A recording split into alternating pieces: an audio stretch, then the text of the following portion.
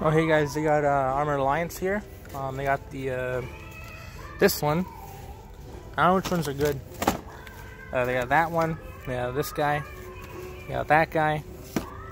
They got this dude. They got this guy.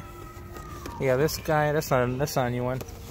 Um, there's that one. There's that one. There's that one. There's that one. But honestly, what's really the point in picking up any of this? It's not like I can play them. There's no cards to use them with, so I don't really see a point picking it up right now. I'll have to wait until we get at least back on Resurgence. Otherwise, I'm just kind of wasting money here because we don't know if this is going to continue or not, right?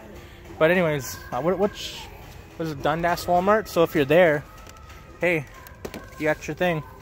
But yeah, Armored Alliance, new stuff, cool.